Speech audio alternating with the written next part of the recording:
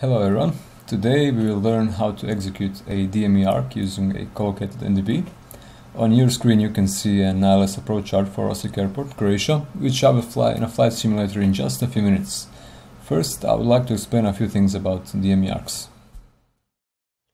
Now, as you may or may not know, DME arcs aren't flown as one curved segment, but rather as few straight line segments, which you get after slicing the arc every 10 or 20 degrees like this.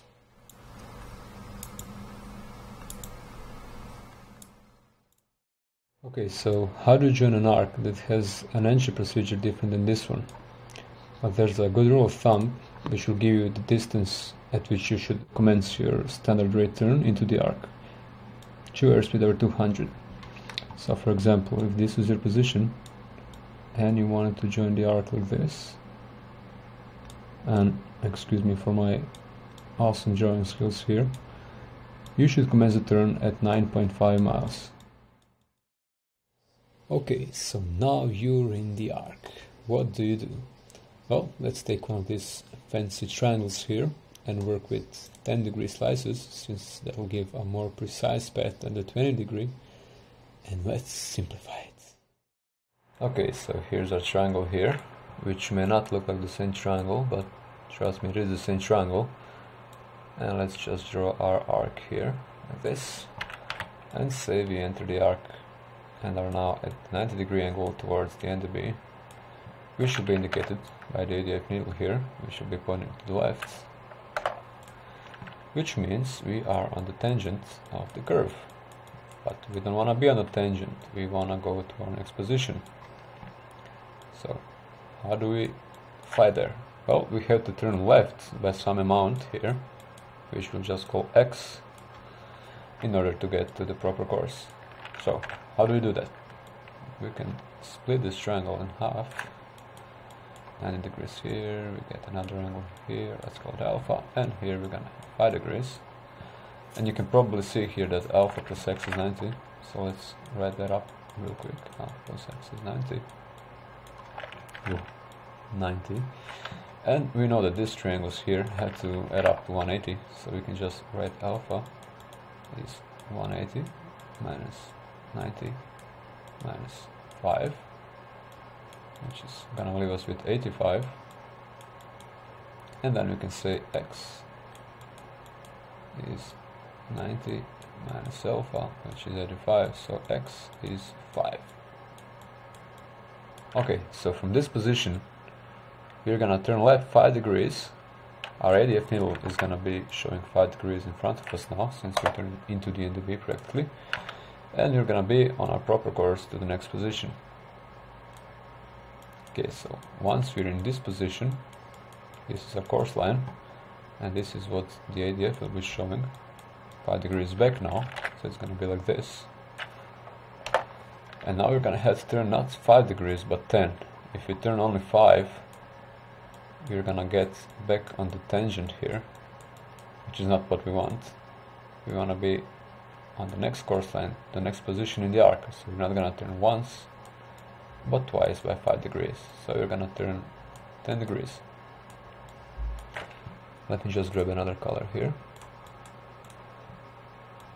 If we initiate the turn at this position, we're gonna actually overshoot the arc.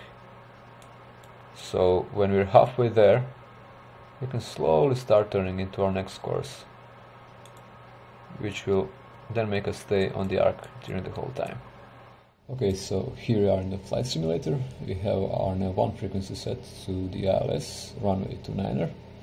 Our nav2 set is to DME here, and we have our ADF set to 372 which is the Charlie Echo locator so let's just fly inbound locator for now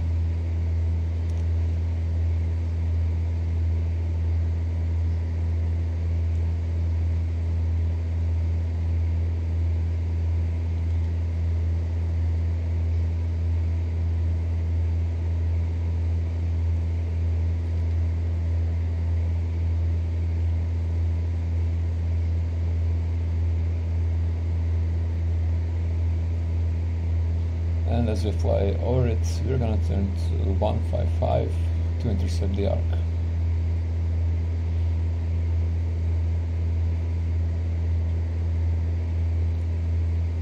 Okay, so let's turn out to 155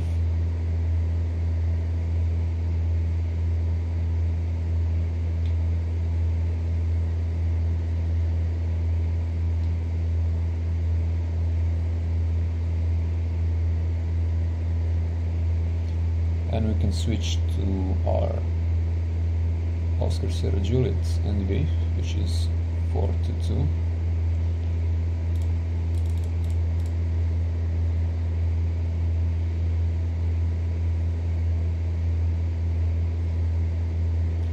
and now we'll wait for our DME distance to come down to 9 nautical miles after which we can then turn right into the arc.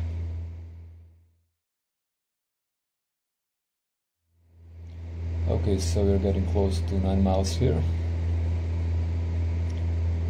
And as we're about to hit 9, we're gonna turn right until our ADF needle shows 90 degrees left.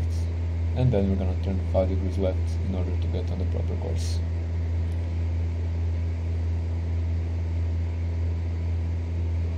So 9.1, we can slowly turn towards right. And center that needle on 90 degrees left.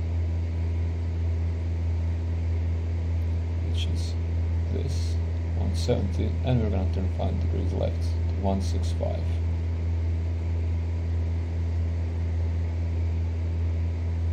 and now we're going to wait for our ADF needle to go back to full 90 degrees left deflection and then we'll turn 10 degrees left again.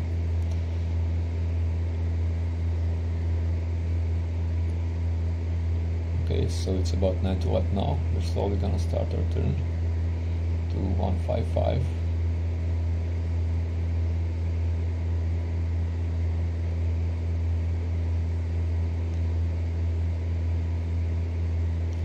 and once again we're gonna wait for the needle to come back to 90 degrees left and we're gonna be checking our DME distance which is 9 miles now so that is all fine.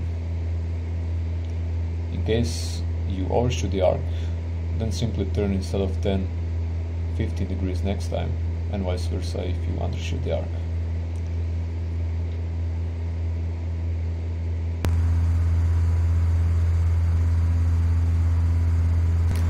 And as you can see, only slow movements are necessary, nothing too quick. And that is basically it. We're gonna do this until we hit our desired bearing to the NDB, which is 295 for QD mic and after that we're gonna start our turn to intercept the localizer.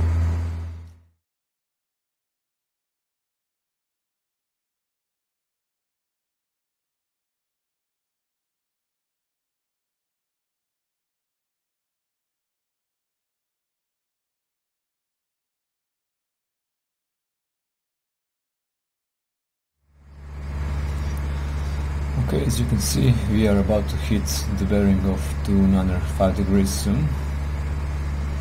After which we'll start a standard right turn to the left to intercept the localizer for runway 29er.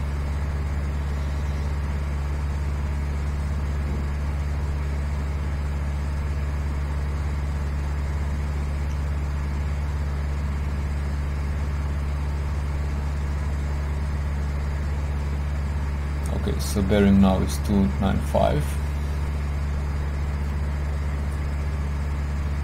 And we'll slowly start turning to the left to intercept the localizer.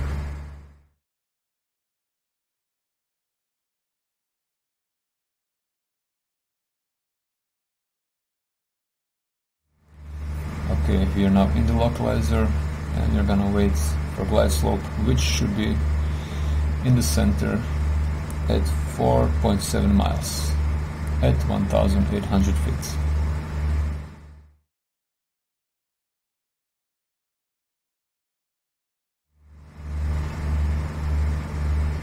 Okay, so we're approaching 4.7 miles and you can see that our glide slope is now centered as well.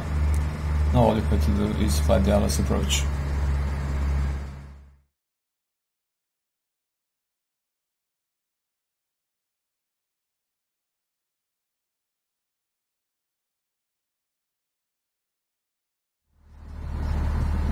Is it. You fly DME arc with an ILS approach.